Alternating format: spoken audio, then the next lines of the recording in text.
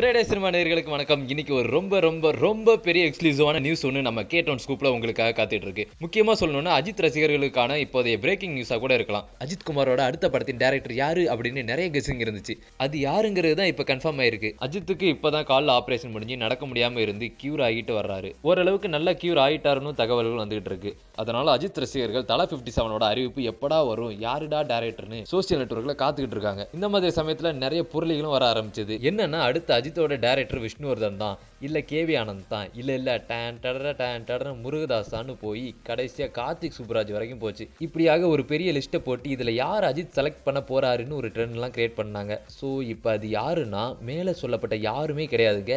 நம்ம எல்லாருக்கும் தெரிஞ்ச டேரக்டர் தான். வீரம் வேதாளம் போன்ற தெரி மாஸ் படங்களை கொடுத்த நம்ம சிறுத்தை சிவா தான் தலை ஃபிஃப்டி செவனையும் இயக்க போகிறாரு இப்போ டேரக்டர் யாருங்கிறதுல முற்றுப்புள்ளி வச்சாச்சு. ஸோ இனிமேல் டேரக்டர் யாருங்கிற டிபேட் நடக்காது. ஆனால் இனிமேல் தலா ஃபிஃப்டி செவனோட டைட்டிலுக்கான வதந்திகள் ஸ்டார்ட் ஆயிருமே. இன்னொரு முக்கியமான விஷயம் சத்யஜோதி ஃபிலிம்ஸ் நிறுவனர் டிஜி தியாகராஜன் முதல் முறையாக அஜித் படத்தை தயாரிக்கிறாருங்கிறது இதில் குறிப்பிடத்தக்கது. ஓகே மேலும் இது போன்ற சினிமா செய்திகளை பார்க்க மற்றும் கேட்பதற்கு ஃப்ரைடே சினிமாவை லைக் பண்ணுங்கள் ஃபாலோ பண்ணுங்கள் சப்ஸ்கிரைப் பண்ணுங்கள் until then bye from Maris